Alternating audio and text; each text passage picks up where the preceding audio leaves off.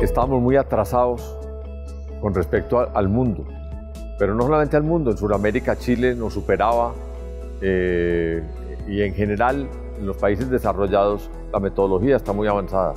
Esto ayuda muchísimo a, a, que se vuelvan ágiles los procesos, a que haya un trabajo colaborativo eficiente y a que tener unos resultados excelentes en todo el proceso de la diseño y ejecución de los proyectos. El hecho de poder trabajar de la mano de nuestros diseñadores técnicos es una parte importantísima. Ellos tienen que estar en este proceso. Si lo hacemos solamente los constructores, no funciona. Yo creo que es importantísimo que todos participemos. Eso va a tener beneficios grandísimos para todos, económicos, en eficiencia y todo eso redunda en beneficio del país.